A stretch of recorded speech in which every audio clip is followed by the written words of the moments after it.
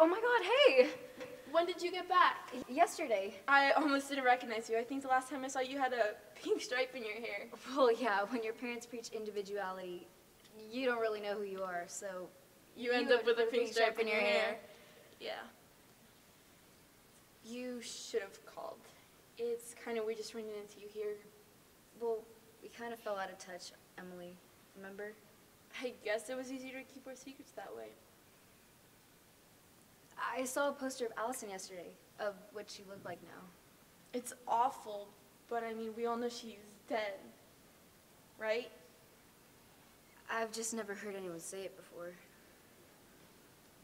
Well, I hear the new teacher's really hot.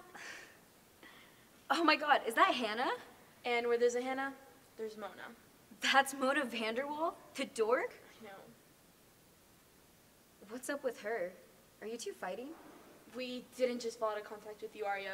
We all fell out of contact with each other. They're not friends, but they're both popular, so So they're friendly, but not friends? So who are your friends? well, since Alison, it's been kind of hard. I know.